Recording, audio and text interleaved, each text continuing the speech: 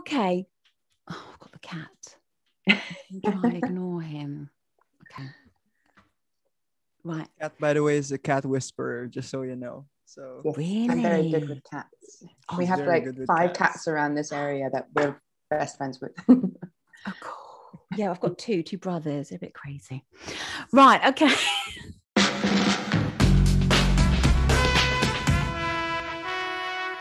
everyone, and welcome to Alpha Sessions. Today, I'm really excited to have with us Magic and Cat. Welcome, guys. Thanks. hey, So, do you guys want to introduce yourselves and tell us a little bit about yourselves? yeah. Um, so I'm Magic. I'm from Manila, Philippines. So that's in Southeast Asia. so I'm a guitarist and a songwriter, and I'm an aspiring pianist as well, and a harmonica player. So yeah, I started out way back what a decade ago. I've been with a lot of bands, uh, metal bands to be specific, and then I toned down to a little bit of the blues, Mhm. R&B, neo soul kind of thing. So yeah, that's me in a nutshell. Cat, how would you describe yourself? Uh, well, I'm Cat. I was born and raised in the Netherlands, but currently live in London.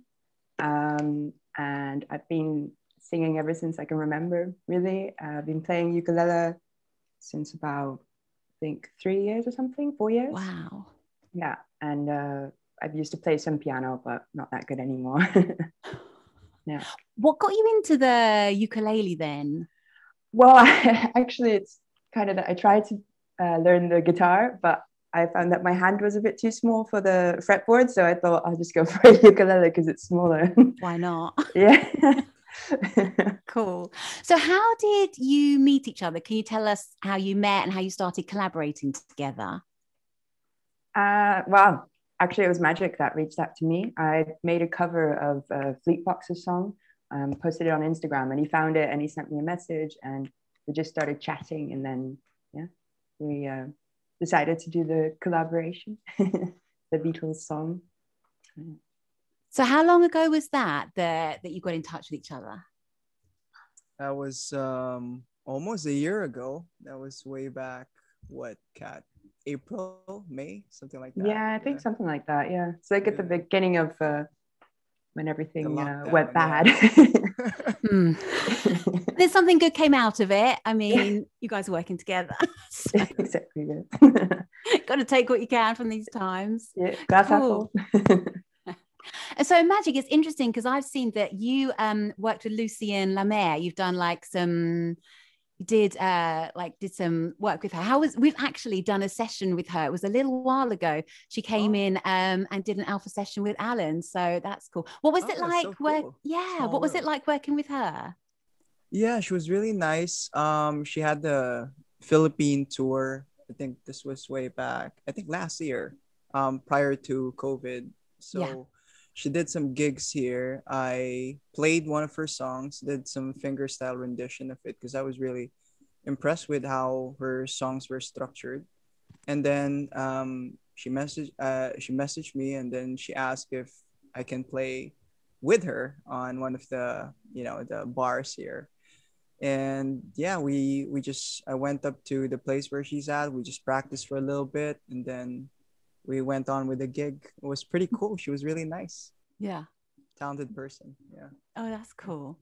So what kind of um what kind of songs and genre do you like to cover? uh, Uh, for me i would say um metal back then right Mhm. now it's more of neo soul Mm. blues, funk. Um, just trying to get this variety of styles. Um, there was even one point during lockdown wherein I tried my hand on gypsy jazz. So Oh, that kind of thing. Yeah.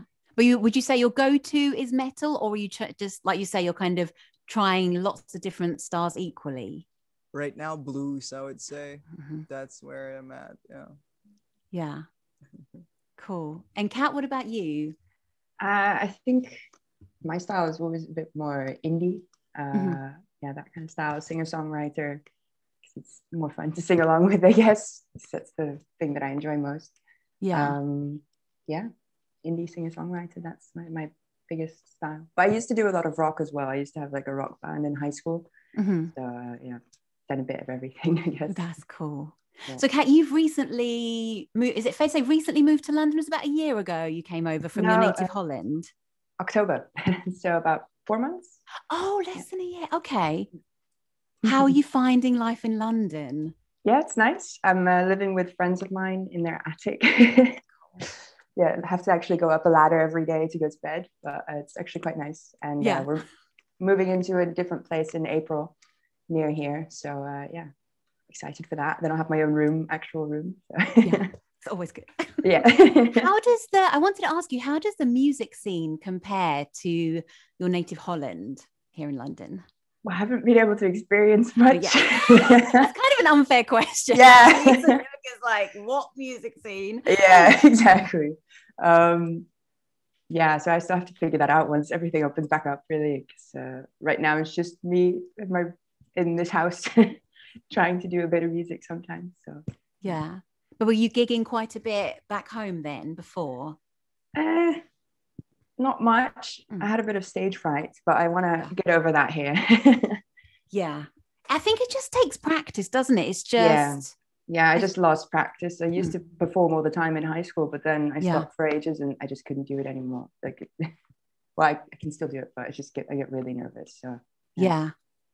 But I think maybe sometimes it's good to feel nervous because if you didn't, it would kind of mean that you didn't care, right? True. That's what true. people say. If I feel Yeah. nervous about something, I just think I'm feeling nervous because I care. And it's kind of a good thing. Magic, do you ever suffer from stage fright or feeling nervous? Or how, how do, you I manage do. that? I do have shaky hands. Which is not great for the guitar, right? yeah, it's not great. That's that's the problem actually. So so how I manage to do a couple of exercises and just do push-ups and that's it. Mm. And then you know, it's weird. Does push-ups Yeah. help with that, man? No, it's just so it's just a thing for me. Yeah, okay, fair. Cat, try that before your next gig in London. A few push ups. I don't think I'll get that far with push-ups though. My arms are not do- that strong. I can maybe do half for one. yeah, exactly. Like maybe Yeah. on the knees, you know, the, the Yeah. girl push-ups. So um, I was going to ask you, what are your what are your main influences? What have been and what are your influences right now? Uh, for me, I guess my biggest one always is uh, Matt Corby and Jason Mraz. Uh, I have like loads of memories that I used to sing along with Jason Mraz's uh, albums, and I think that's how I taught myself how to sing. Um, by just by trying to copy him because he has very good vocal uh, control. And Matt Corby the same. His vocal range is crazy, like high and low and everything in between. Like yeah. Yeah. So just by copying them, I think uh, I learned a lot. Mhm. Cool. Magic, how about you? I have another JM. So Jason Mraz. I have John Mayer. Ah, yeah, yeah. So John Mayer, um, growing up, uh, it's pretty much UK based um metal bands. So you got Black Sabbath, you got mhm. Led Zeppelin. So those were um those were my main influences growing up. But these days, leaning towards yeah indie blues kind of stuff. Yeah, John Mayer is top of my list really yeah. as of the moment. Yeah. Yeah, he's really cool. And I've seen on your Instagram, you've been um, jamming uh, to a lot of backing tracks lately. Are you finding that that is like a lot, gives you inspiration to write more original material? Yeah. Um backing tracks, you know, the, the the structure of the the tracks itself challenges me to just play around with a lot of notes, just try and, you know, make some sense out of where to put which note and whatnot. So yeah. Um it has, you know, inspired me in a lot of ways. And there are a lot of good um musicians who put really great backing tracks out there. So, what is, um, can you let us in on what your work, what you're both working on now? Is there any upcoming releases that we can look forward to? Um, well, for me, I mean, I'm planning to release my originals. I mean, one of the songs that I'm performing today is my original, and I've never released it anywhere actually. That's exciting. yeah, so I want us to get started on that, and uh, yeah, lots of videos of me just hanging around in London as well on my YouTube channel. So Yeah. Yeah. So, do you want to actually um, introduce your songs? We're gonna we're gonna have a listen of that. All right, so this uh, song is called Unrequited Love. And I wrote it a couple years ago when I had a crush on a guy and he didn't have a crush on me. and so, yeah, I felt very strongly about this song at the time. So, yeah.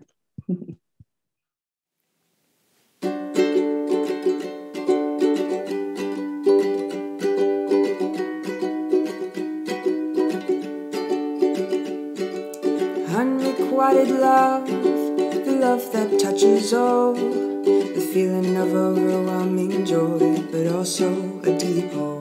We all fall victim to its pull as the highs sometimes overcome. But if they're not that tall, it feels like a great fall. Unrequited love, unrequited love, unrequited love, unrequited love. Oh, oh.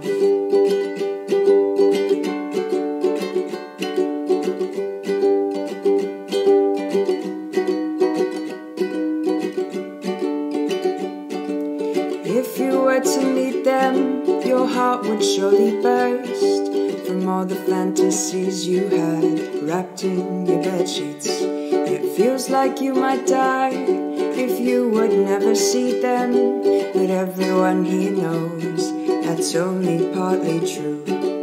Unrequited love, unrequited love. Unrequited love, unrequited love.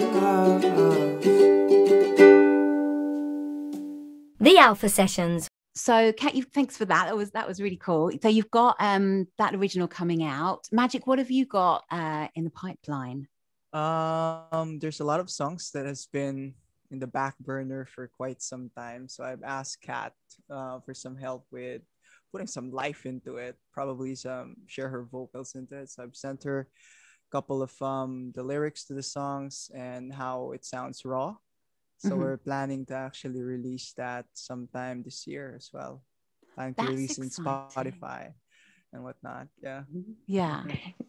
So how's the process? How does that work? I mean, if Magic, you send Cat like the material, then Cat, would you like want to how, how do you put your stamp on that do you feel like you've got a certain amount of flexibility like how do you guys work together on that well until now i mean magic sent like some of the the songs that he's made and i've had to listen to them we haven't really gotten started on it yet that much it's uh, very fresh but mm. um yeah i think basically i'm just gonna see what i think might be changing if there is anything that needs changing or whatever if I if it maybe doesn't suit my voice in that way or something like that. And uh, I don't know. We'll have to see. We haven't really yeah done much. yeah, but I think that's gonna but that's gonna be exciting though. And then you know that's exciting to see how maybe a song starts one way and maybe changes.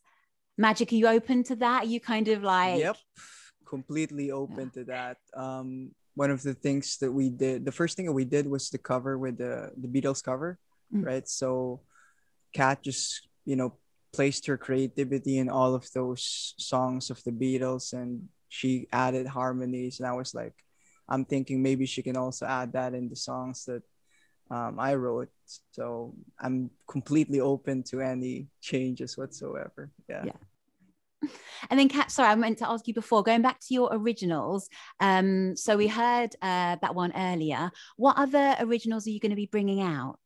Um, I've got like one complete song that's mm-hmm. actually like you know with a chorus uh, whatever bridge everything that yeah. a song usually has um, and there's a couple other like short songs like unrequited love so it's like small little like kind of in between interlude kind of songs um, so yeah i have to maybe see if i'm gonna make some of those smaller songs into actual full songs if it works yeah, yeah. I have to work on that still. That's cool. And how is your what's your songwriting process like? Usually it just happens. Like I just have an emotion and then I always have to put myself down and make the song on that day because otherwise I'll never finish it or it yeah. just doesn't sound the same because you don't have the right emotion then otherwise. So I always try to might have to cancel some plans if I'm in that mindset. Cancel Maybe that my friend- coffee. You got to Yeah, sorry, I'm uh, I'm in the zone. yeah. So yeah, yeah. Yeah. And then, so you, how does it work? You have the words first and then the, s- like, then the melody, or sometimes vice versa. Uh, it's usually uh, the melody first, how I do it. Ah, so okay. how I often find it is I just mess around on my ukulele and I find a chord that I like the sound of that like resonates with me, and then I kind of play around with it, and then I start making lyrics over it. That's kind of how my process has been up to now. Something I, I wanted to ask you guys you both played some radio shows for Chicago and New York last year. So, can you tell us a bit about that? Yeah, so um, one of them was I think the first one was with the Beatles Fest. So we were big in mental health because that was like the start of the lockdown, as far as I can remember. And um, so we just attended that fest and we, we played the uh, the Beatles covers that we did. They just played it in the video. We didn't really do it live because it will be lagging on Zoom. Yeah. That's the Um, only one problem of Zoom, right? sometimes, it. sometimes. That's it. Um, so we just talked about uh, mental health, and we just, you know, we were with Beatles fans um, during that time. So the Beatles Fest is like uh, an annual event for all Beatlemaniacs. So they have a lot of um, Zoom rooms this time, not booths. Okay. So yeah, we just entered that Zoom room. And the other radio show, it was a podcast. It's called Umami Memories. So we just it's it's pretty much the same as Alpha Sessions. Yeah. I mean, obviously, it's not the same right now because, you know, there's no live gigs, but I think, you know, something, anything is better than nothing, isn't it? If you're still getting to meet people and like get music out there. Yeah. What do you think you're kind of both missing the most in terms of like from not being able to like go to gigs or play gigs and, and collaborate live? What what's the what's the thing you're kind of finding the most tough at the moment? Well, for me, I was really planning to go to a lot of open mics in London uh, to try to get over my fear. So Yeah. that's something I'm really missing out on, and uh, yeah, quite bummed that I can't actually do that. And of course, going to gigs. I didn't go to many gigs because I was usually too broke, but uh, yeah, I did enjoy them occasionally, uh, and I do really miss that feeling of being in a big group of people just enjoying music. Yeah. Magic, how are things for you over there in the Philippines then? What, what's the situation like there? Is there still gigs going on or what's it like? They're actually opening up some some some bars. I, I've seen friends who are already playing some um, open mics. Oh, wow. Um, but yeah, you know, it's we we still want to stick to being safe. So I don't Yeah. as much as I want to. but yeah, that's the thing that I missed. Um, same as Cat. Um, just going to gigs, just hanging out with people, connecting with them. Yeah, meeting new people pretty much and traveling. That's what I miss the most. yeah. Yeah. Yeah. But I mean, at least you're still managing to make music through this time. You're still yeah. working on stuff separately, jointly. So just got to hope that soon things will go back to Yeah. a little bit uh, how they were before. Um, but I wanted to touch on um, you feel like it's important to spread joy through music right now, especially, you know, like what we've just been saying, going through lockdowns and then more lockdowns coming out and going back into it globally. Um, and so, how are you managing, like, with your mental health? How is that managed? Like, how is that kind of feeding in to the music that you're doing? Uh, well, for me, it's kind of been a bit demot- demotivating, I guess. Mhm, mhm. um, I haven't really been working that much on music lately. Partly also because I don't really have my own room right now, Mm. so I don't really have my own space to like be creative and stuff like that. Um, so for me, yeah, music's a little bit on a pause, kind of. So, but I hope once we move in April that uh, that will turn around. You know, got because then I'll have my own little room and make it my own and stuff like that. So exactly. hoping for that. Yeah. That's not long. It's only like a couple of months. yeah, exactly. It's not bad. Yeah. Yeah. But you still kind of feeling like uh, inspired to to write certain things. Are there things that you feel like when you get your own creative space, there are things that are just going to come out? yeah I, I do feel that that might happen Mm. i've been like kind of little bit bursting at the seams. Sometimes I'm like, Mm. oh, I want to get a guitar. I want to learn guitar now, finally, that kind of stuff. So yeah, it's uh, it's trying to come out, but it's just a bit hard right now. Yeah. Yeah. Magic, how are things going for you over there? Yeah, it's crazy, you know, um, being stuck at, at the house. Although I, my work um, requires me to actually go on site these days. I can still go outside, but you know, Mhm. um, I just stick to just after work, I go to the house and just read some books, you know, just play some music as much as I can, reach out to friends, just connect with them, just ask them how they are, you know, because these are hard times. Even though the lockdowns kind of eased up a little bit, still hard, still not normal. Definitely not much. normal. Definitely not. No. So Magic, I wanted to um, ask you about the original track that we're going to hear from you now. Can you tell us a little bit about it?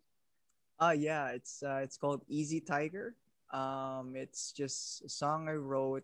Um, it's, it's an instrumental track. Um, a song I wrote during uh, the the early stages of the lockdown last year, and um, it's just about it's just pretty much a conversation between um, friends. Like um, the the the the friend was just simply just telling the other his other friend that um, just take it easy. Everything's gonna be all good.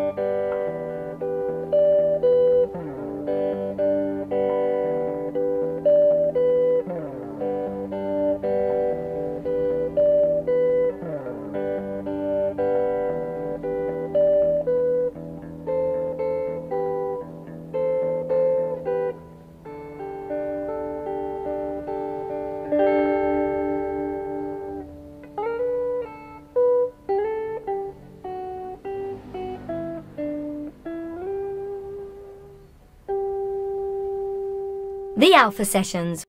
So, what's been one of your um, most favorite or memorable gigs so far, and why? Ooh. I think uh, for me, it might be uh, when I went to see Bombay Bicycle Club. Like when I Cool. was, ah, how old was I? I think I was 16. My mother actually introduced me to them. she was like, Cool, You're going to love this band. yeah, exactly. And she took me to the gig. I'd never heard them uh, before. And she was like, Oh, you're going to come with me to this gig. You're going to love it. And uh, we went, and then I never stopped listening to them basically.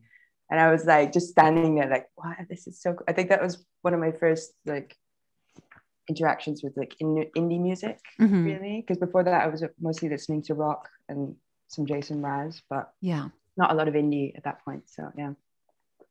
So that was like your first gig that you went to at 16. No, I'd been to like a lot of uh, small gigs because Okay. I grew up in The Hague, which is really a music Okay. city. Like, yeah, my mother used to take me every Sunday to this little uh, bar called the Old Mole or the Oude Mol in Dutch. Mhm.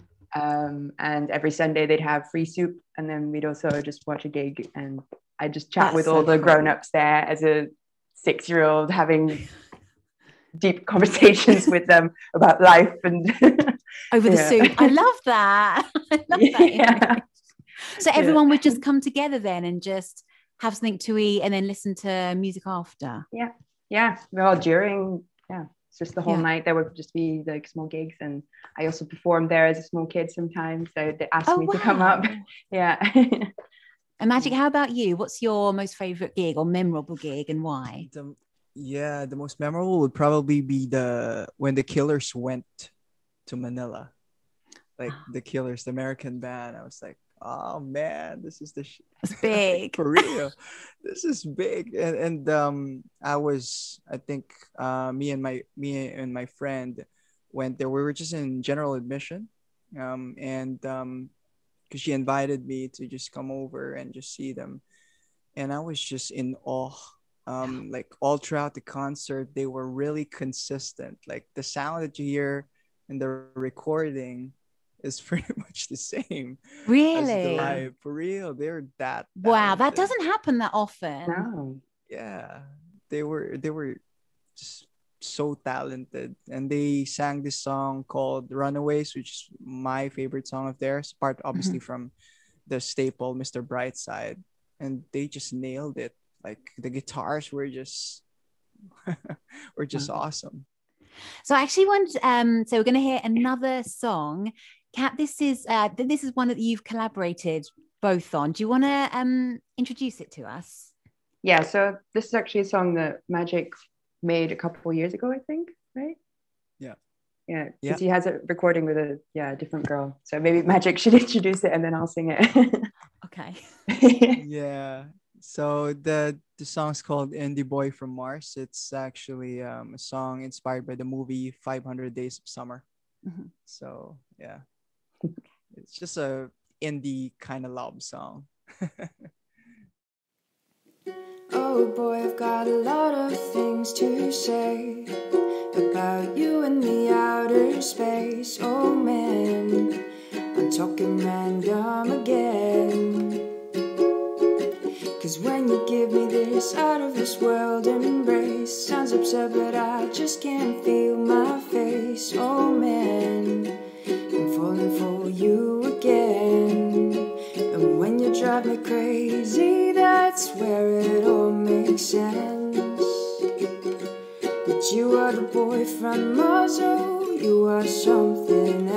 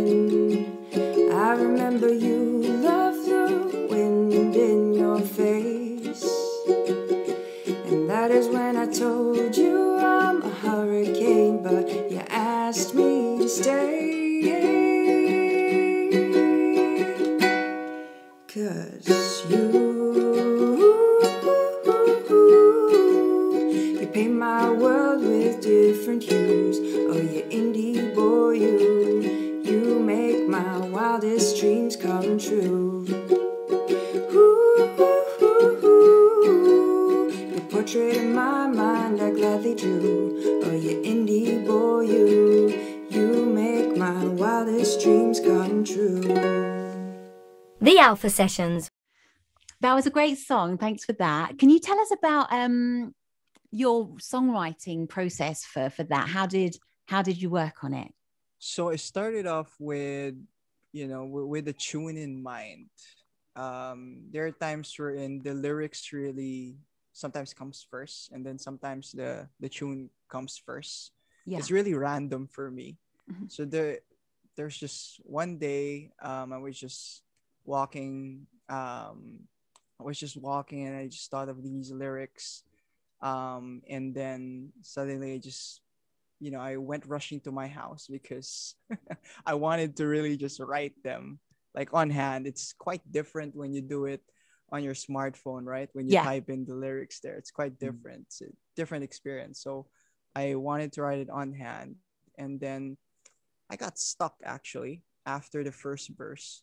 And then I told myself I needed some sort of inspiration. So what I did was I tried to look for one of those cheesy um you know romantic movies Yeah. rom-com movies There's quite a few of those to choose from. yeah, that's right that's right and um i can't seem to find the right rom-com to inspire me right so what i did was i went back and um check out this movie that i love called 500 days of summer starring um zooey deschanel. And from there on it has this indie kind of vibe.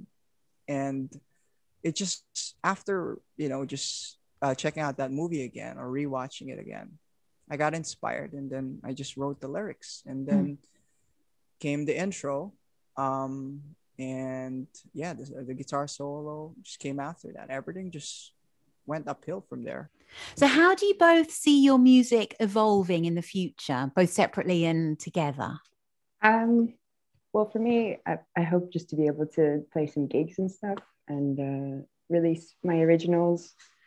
And yeah, together with Magic, also to release the originals that he's written. And uh, yeah, I don't know. I, I hope someday that I'll be able to get paid for making music, but it's not like the end goal necessarily. Mhm. Magic, how about you? How do you see things evolving for you in the future? Uh yeah, I'm gonna be just continuing playing the guitar, just try and make a lot of tracks, a lot of um, you know, songs. Um I actually told Cat that I'm gonna be I'm planning to actually go to London. I was going to ask you that. I was like, when are you coming over to see us? because of course now, like you know, we're we're catching up here online, but we want to get you in the studio as well and and see you see you in person. So you're planning to come over hopefully soon. Yeah, yeah. Once all this thing is over, I mean like it would be nice to just come over and just just jam out and whatnot.